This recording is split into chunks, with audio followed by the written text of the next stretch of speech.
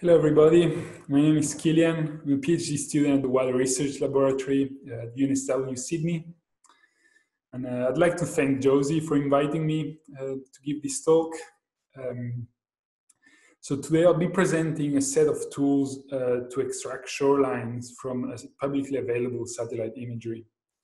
And the main tool is called CoastSat and is an open source toolbox that everybody can use. So I'll go through how the toolbox uh, works and also provide some example applications. So uh, first, before we start, um, this was a, obviously a team effort to develop this toolbox. And so here's uh, all the team. So Kristen, Mitch, Ian, uh, Josh, and Andrew.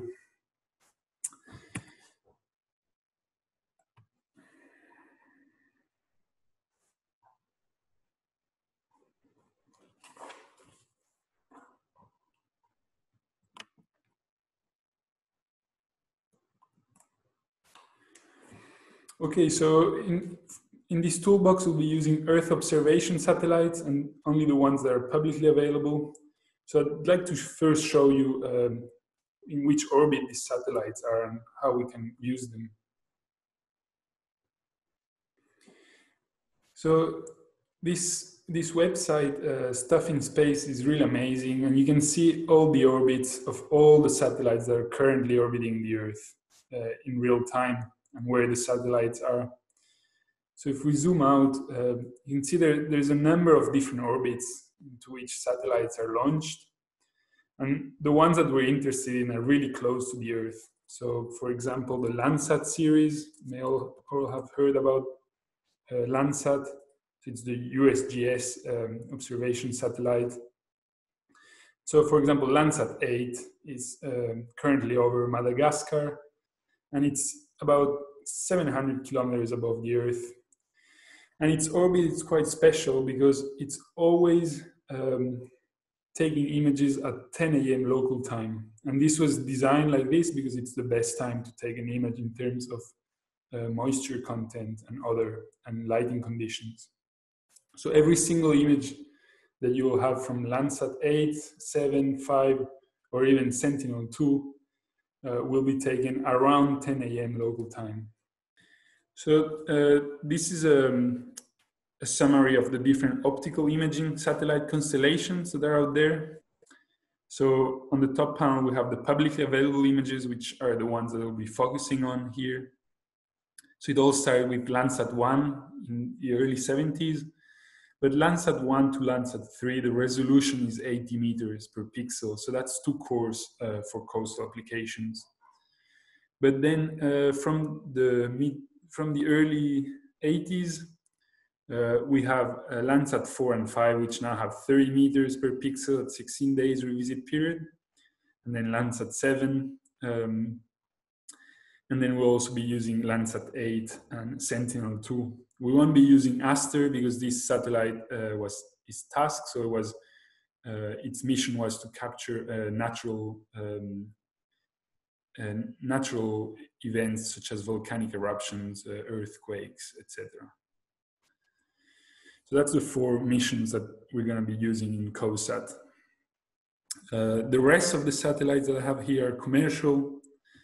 Um, and you can see that the resolution is much higher. So we have one meter per pixel for the SkySat Planet Labs constellation, for example. So the main motivation for this work um, is data scarcity. So here I have a, a, time series of shoreline change of the 0.7 meter contour at Narrabeen Collaroy in Sydney. And this monitoring program was started by Professor Andy Short in the late 70s and it's still continued now by our team. So this is our colleague Josh Simmons. So um, these time series are extremely useful for a range of coastal uh, application and coastal management, but unfortunately they're also extremely rare. So the idea was um, to use those 30 plus years of um, satellite data that we have that are publicly available and try to get the best shoreline time series out of it and see how they compare to the in situ surveys. So I'll run through very quickly uh, how the algorithm works. So this is an RGB uh, 10 meter per pixel image of um, uh, taken by Sentinel-2. And the first step uh, is to classify the image. So we'll use a classifier to find which pixels are sand, uh, white water, or water. Then um, we'll calculate um, what, what we call the modified normalized different water index, which is just the difference between the shortwave infrared and the green. Uh, and it's a very useful uh, index to differentiate uh, water bodies from land features, as you can see here.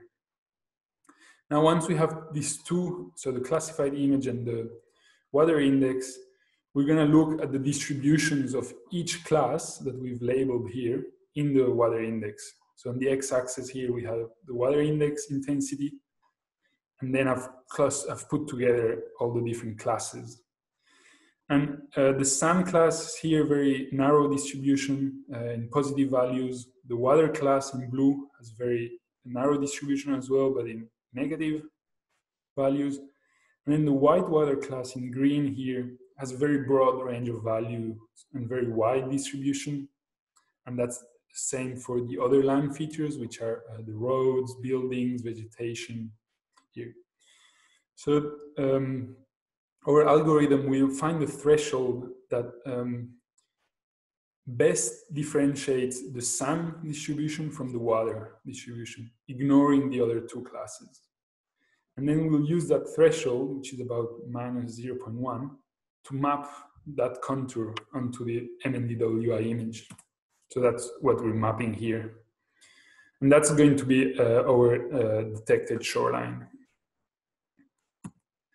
So we can automate this, pro this process and we can run it uh, across the entire archive of publicly available images of uh, Narrabeen. So it's very important to identify the white water as uh, it will cause some offshore biases if, if we're not uh, excluding it, because it's also quite reflective uh, like the sand. So the output uh, of CoastSat is a, a, GeoJSON with the shorelines that you can uh, put, plug into a GIS uh, workflow, or you can also use the CoastSat built-in function to look at the time series. And so you can set some transects and extract time series of shoreline change along those transects. Now, one thing uh, to take into account here is that each image is taken at a different stage of the tide. So we need to tidally correct those time series. So to tidally correct the time series, uh, we're gonna go through the uh, tide levels at, at, our site and um, take the tide level for each image acquisition. And then we're gonna take those water levels and divide by the beach slope, and that's our horizontal correction, and add this to the time series of shoreline change along the transects. So we apply the tide correction on transect base, not to the entire shoreline. So now we can check how it compares uh, against our ground truth. So here are the last 34 years of shoreline change Narrabeen from uh, satellite data. and see that it's doing a very good job at capturing those interannual uh, signals as well as some of the very uh, strong storm events that we've had, like the 2016 storm. Uh, root mean squared error here was 8.2 meters, but keep in mind that the, the algorithm was developed at this site, so it's, it's going to be the site where it performs best. So we did some validation at other sites where there was also long-term um, in situ monitoring programs. And um, and we quantified um, the horizontal accuracy of the technique and root mean square was between 8 and 13 meters depending on the site. And a big limitation uh, for sites with a large tidal range was the following. So here I have Truc Vert in France. So spring tidal range is about 4 meters. And if I take a high tide image, we're able to map uh, the shoreline pretty well. Now, if we take a low tide image, um, Truc Vert has very complex intertidal zones, so intertidal bars and intertidal shoals. So the, the, actual shoreline that's been mapped at low tide, it's not a good indicator of the, the real position of the shoreline. So that's, that's a clear issue that may also um, arise in the UK, wave-dominated beaches. And uh, one of the solutions is to just discard all the low tide images and only map shorelines at high tide, but we're decimating uh, the temporal resolution uh, in this way. Um, another limitation is that we need water levels and a, an estimate of the beach slope along the, tr the transects, and we'll see how we can get that beach slope uh, remotely as well. Uh, then we're mapping an instantaneous shoreline, so it's subject to, um, to localized water levels and run-up.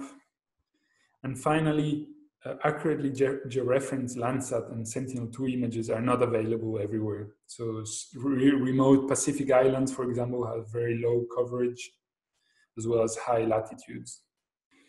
Um, so now I'll go through a few applications of this tool and how we've been using it uh, for coastal engineering problems.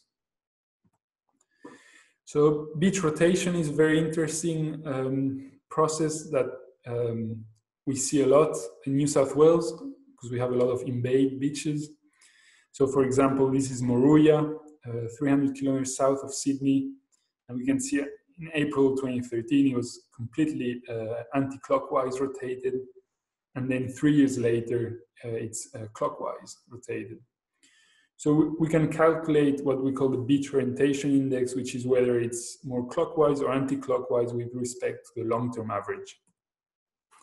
So here we've calculated it using satellite data in orange and then using uh, in situ data that was surveyed by Professor Andy Short over the last 10 years. And we see that both uh, match pretty well. Uh, we can do the same thing at Narrabeen, where we have uh, much more data. And uh, we see here that over the last 10 years, both beaches have been uh, synchronized. So we can see here they're both um, clockwise rotated and then here they're all they're both anti-clockwise rotated. But now with the satellite data, we can extend the Moruya data set and add 20 years of data. And um, it was very interesting to extend this data set because we, we discovered that, okay, most of the time they're in phase, but there's also some uh, periods where they were out of phase, like in the mid 90s, for example. Uh, they're both beaches are completely out of phase, which was a very interesting uh, point. We can use uh, the satellite data to extend some of the in situ survey programs and go back uh, to the mid 80s. Another interesting application uh, is beach nourishments and how they uh, perform over time. So this is St. Pete Beach um, in Florida in the Gulf of Mexico. As you can see, uh, it's heavily nourished. So we put a transect through the northern end of the beach where the nourishment happens, and then look at the time series of shoreline change over the last 30 years. And we can see about eight nourishment programs and how long it takes for the beach to go back to the pre-nourished state and what's the long-term trend including the nourishments at this site. Another application uh, is river mouth opening and closing. So as you can see on this animation, uh, we're able to track the location of the river mouth and whether it's open or closed. And so this is the Tijuana river mouth, uh, just at the border with Mexico in Southern California. And uh, from this animation, you can see how the the location of the opening has been translating towards the south uh, over time. So it started about here, now it's slowly um, migrating towards the south.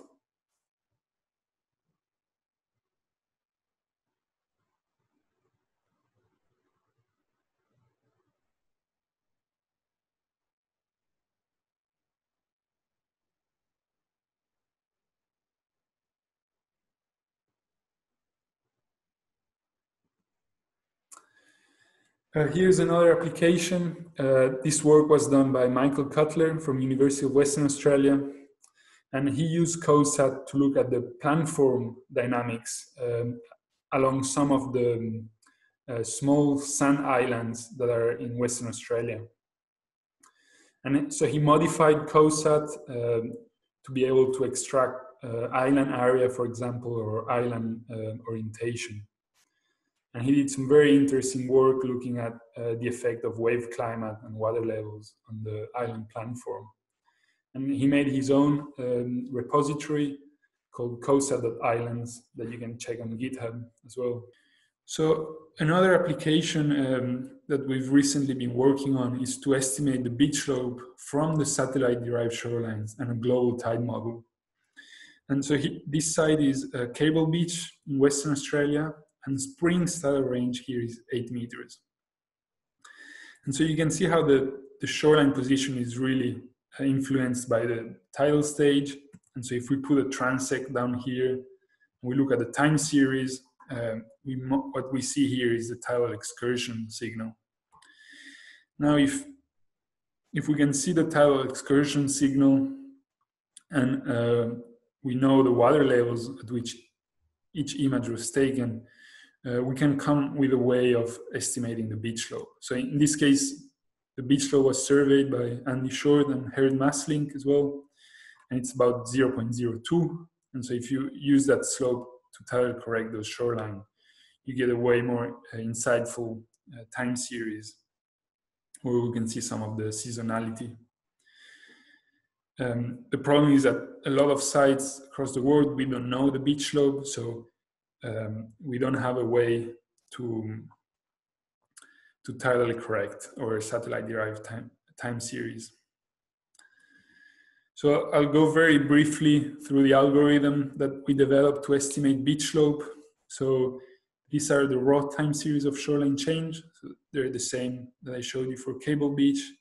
And these are the corresponding water levels uh, from a global tide model, like FES 2014, for example.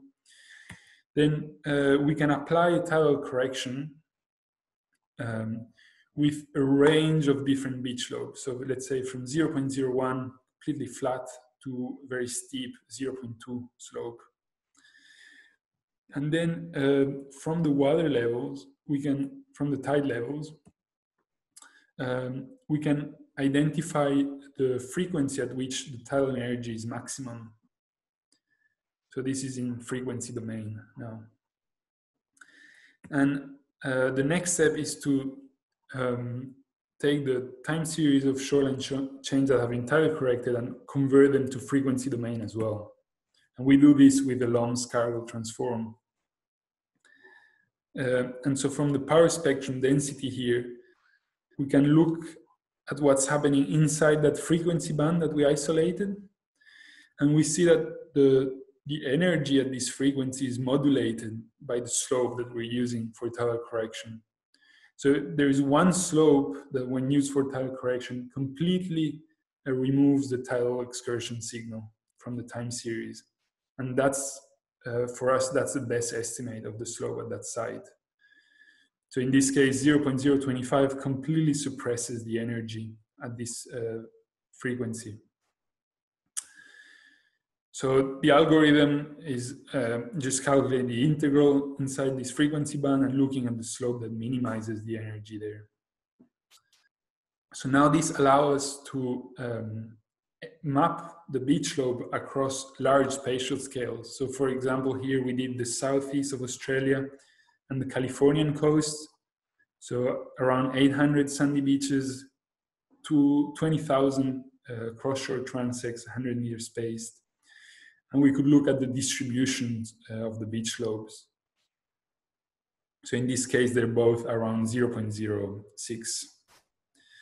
And this data is um, freely available um, at coastsat.wrl.unsw.edu.au. And I'll just show you briefly how this website uh, works. So we have the beach slope data for both coastline and you can also look at the time series uh, of shoreline change. So if we go to a beach here in Sydney, um, we can click show transects and then the transect show up and each transect has, has a different uh, beach slope. So we can look at the beach slope along each transect and then by clicking on one of the transects, um, we can look at the time series of shoreline change along that transect. So for example, that's the northern end of Narrabeen. And we can download the data uh, here on the right-hand uh, tab. So finally, I'd like to conclude with a list of the different uh, open source resources that we've been developing. So the main toolbox is CoastSat and it's on GitHub. And this allows you to extract uh, satellite derived shorelines from uh, publicly available satellite imagery, uh, Landsat and Sentinel-2. Then uh, there is CoastSat.slope, which takes the satellite derived shorelines and uh, global tide model and uh, can estimate the beach slope. And then there's the CoastSat website where you can visualize the beach slope data and also the shoreline change data. So uh, all these resources are available online and uh, each of the GitHub uh, pages have, has a forum. So if you're trying it at your own site and have any questions, you can post in the forums and myself or other people in the community will answer and share tips So that's all for my presentation. Uh, happy shoreline mapping, everybody. And uh, thank you very much.